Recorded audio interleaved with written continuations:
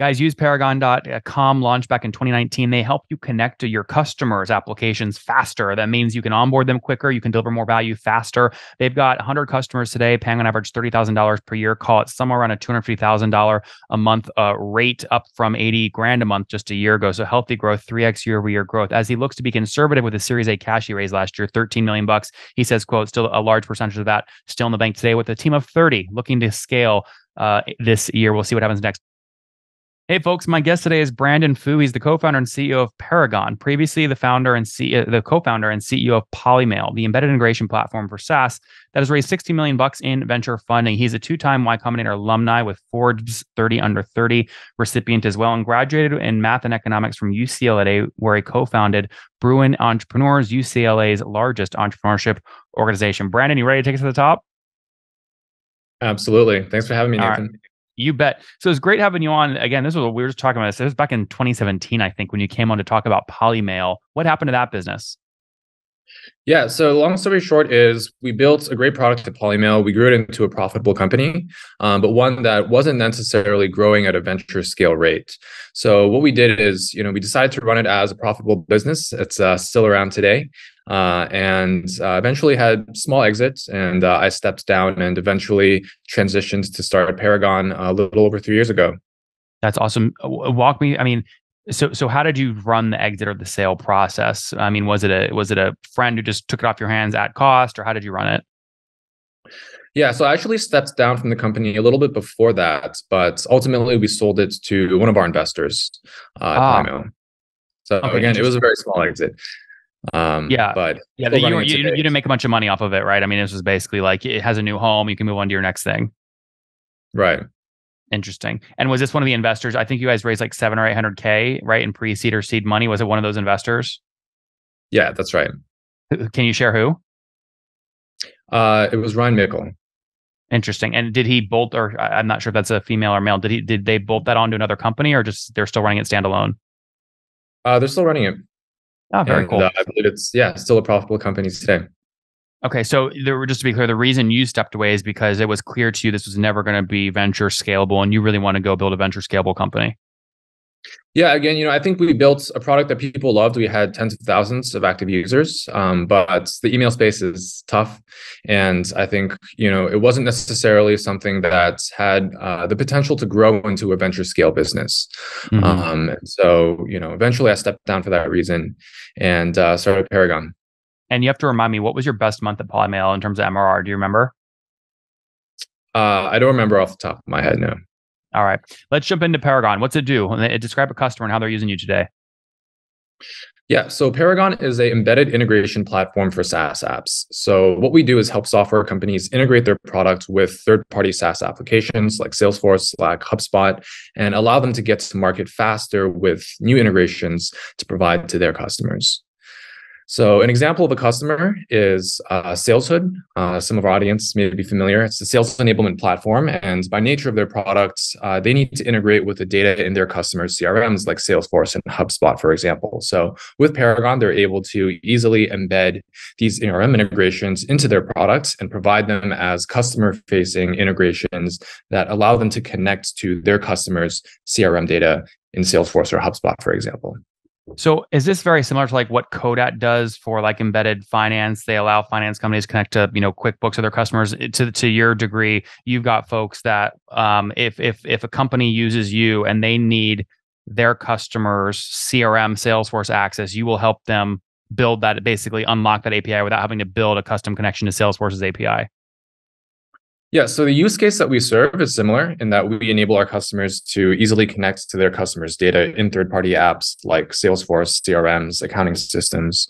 Um, our approach, our product approach, is slightly different from Codat and other vendors in that we provide a fully visual workflow editor along with an SDK that allows our customers to both easily embed the product-facing integrations, and we provide embedded UX components example as well customers can display for their end users to connect their integrations. We also provide a workflow builder that allows our customers to easily map the data, basically the integration logic that they can then provide for their end users.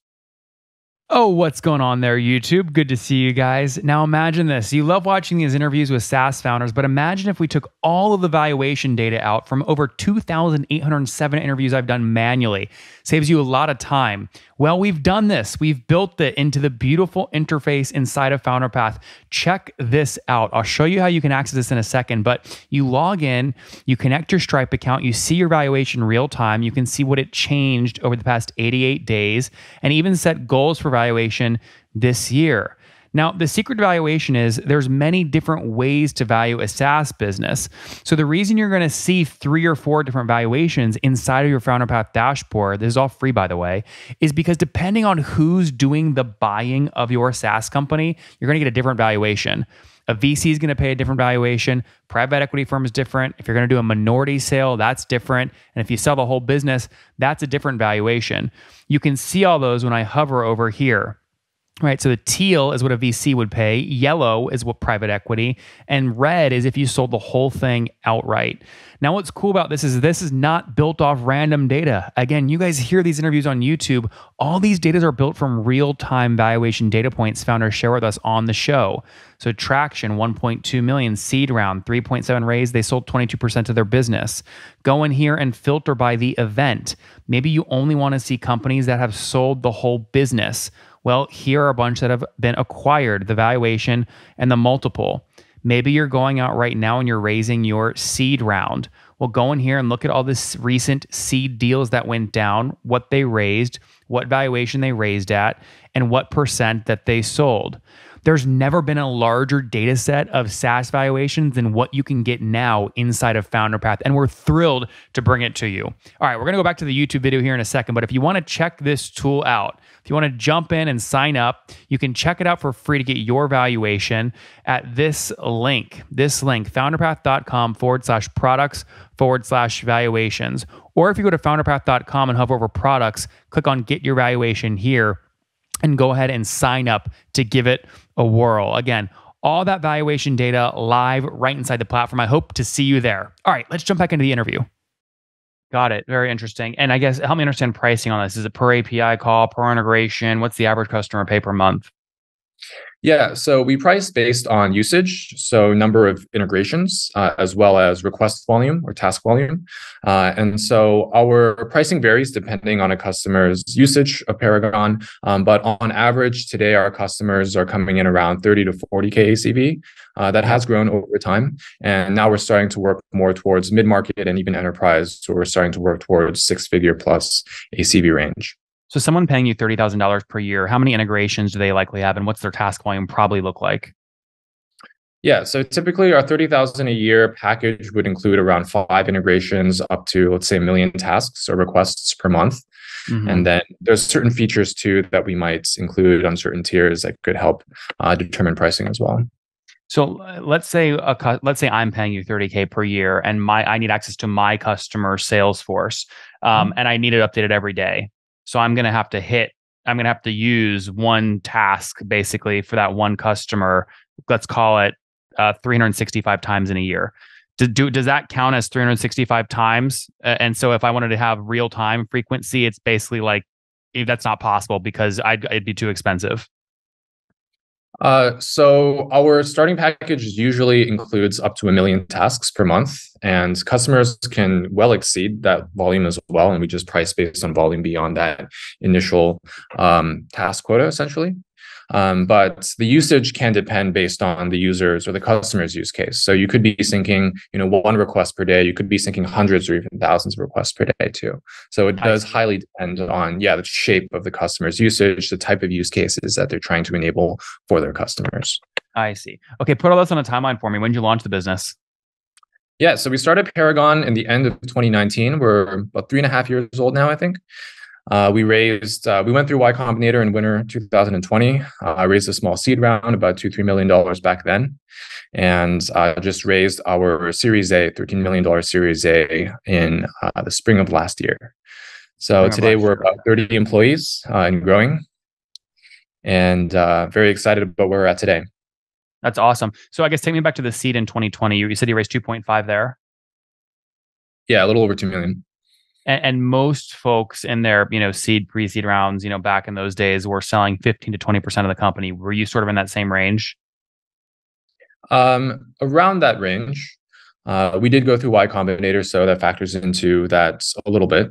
Um, but, well, but most people though, when they go through YC, they'll give YC the premium, right? They'll the, the whatever it is, 150k for seven percent, but they won't let other investors come in at that same quote lower valuation. Did you have? Did you take the full 2.5 at the YC valuation?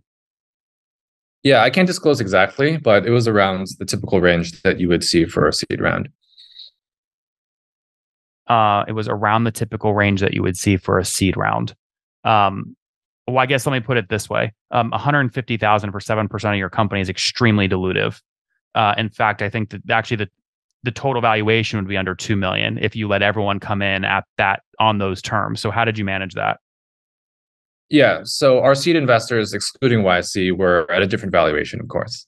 Okay, so that's what I was asking. We consider our seed round all funding raised, including YC, averaging that ownership percentage roughly around the range of what you would see for a typical seed round.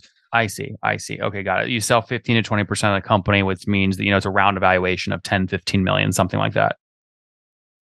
Around that range.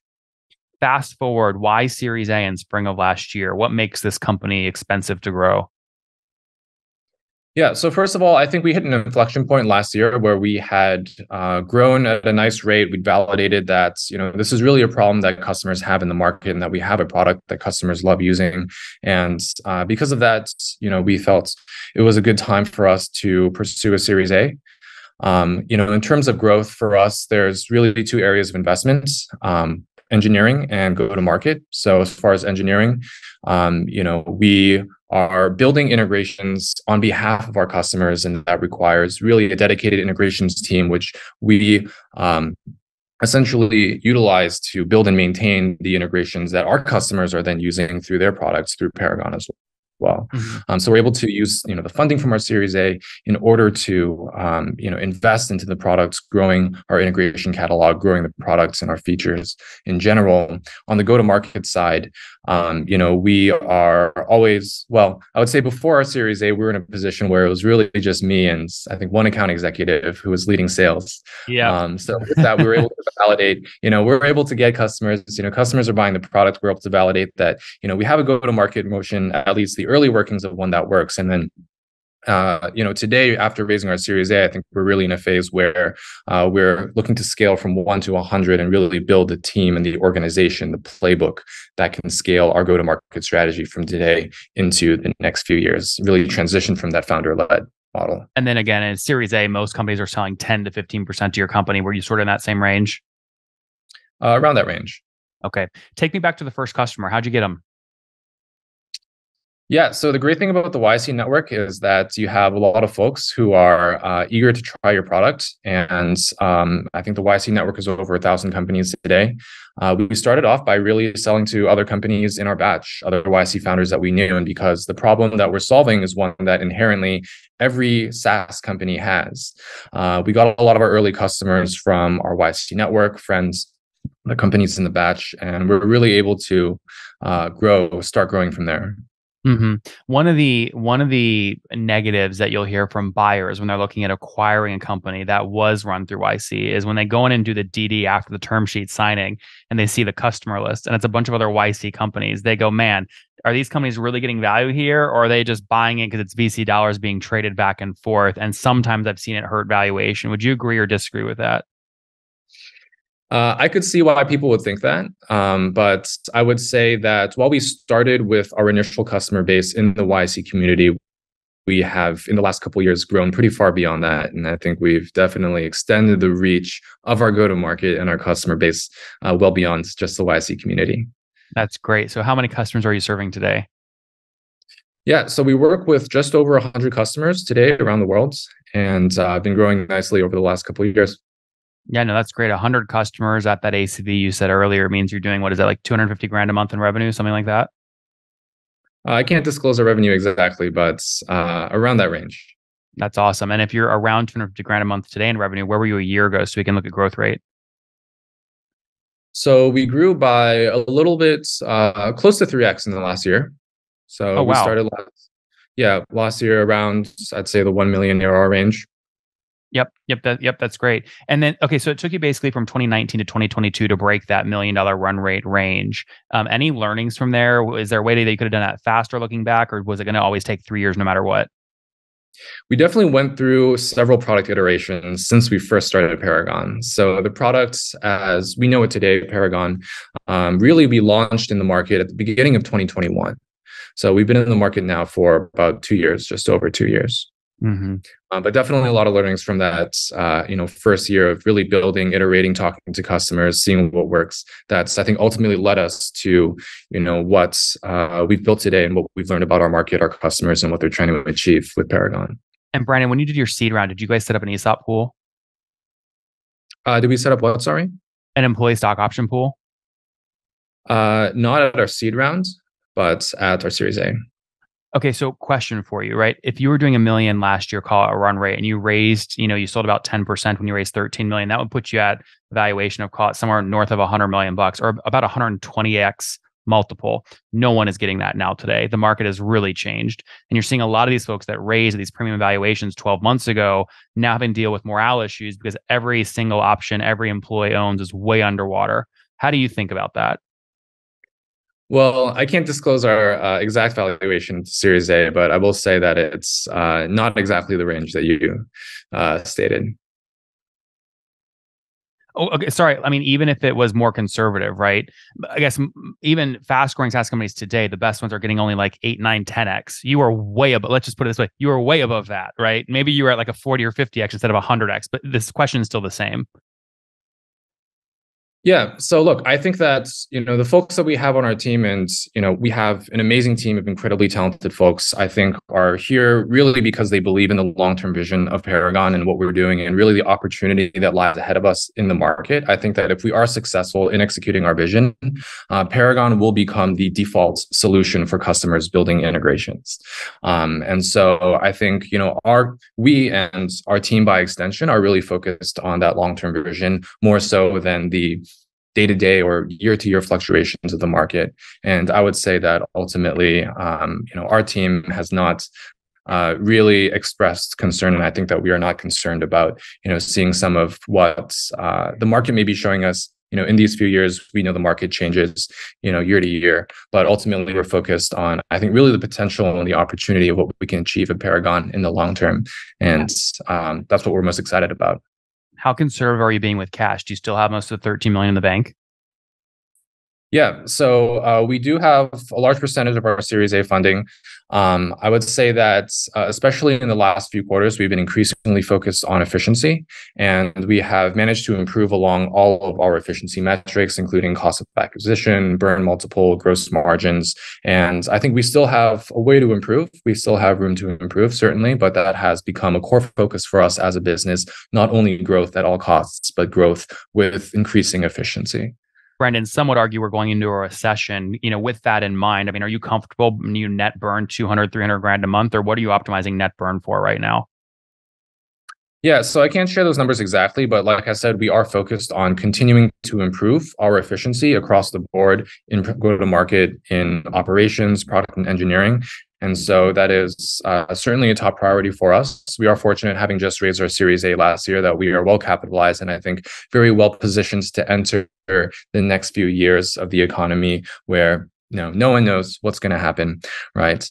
Um, but i think that we're also you know uniquely positioned to help a lot of companies in this type of um, you know market where a lot of companies are looking to do more with less where they may need to still get to market with new integrations but they may not be able to bring on new engineers in order to do so. And i think that's a position where paragon is really able to help these companies accelerate their products their integration strategy and do so in a way that's far more efficient which everyone is you know I think uh, looking to do today. Uh, Brandon, on that note, let's wrap up here with the famous five. Number one, what's your favorite business book? Uh, Steve Jobs' biography by Walter Isaacson. Number two, is there a CEO you're following or studying? Uh, I've always been inspired by Stewart Butterfield at Slack, uh, although he did just recently step down. Number three, what's your favorite online tool for building Paragon? Uh, I'll give you two, both YC companies, Vimcal for calendar and Sunsama for task management. Use them both every day. Number four, how many hours of sleep do you get every night? I try to get eight. Um, okay. Usually six or seven, but I think sleep is incredibly important, and I try to get eight if I can. And Brandon, what's your situation? Married, single, kids? I am married uh, for the last two and a half years, um, and no kids yet. Uh, no kids. And how old are you? Essentially on the roadmap. Uh, I'm 31 as of this month. Congrats. Happy birthday. Last question. Something you wish you knew when you were 20.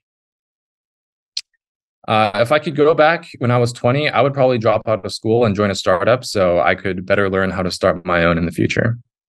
Guys, useparagon.com launch back in 2019. They help you connect to your customers' applications faster. That means you can onboard them quicker, you can deliver more value faster. They've got 100 customers today, paying on average $30,000 per year. Call it somewhere around a $250,000 a month uh, rate, up from 80 grand a month just a year ago. So healthy growth, 3x year over year growth. As he looks to be conservative with the Series A cash he raised last year, 13 million bucks. He says, "quote Still a large percentage of that still in the bank today, with a team of 30 looking to scale." Uh, this year. We'll see what happens next. Brandon, thanks for taking us to the top. Thanks for having me, Nathan.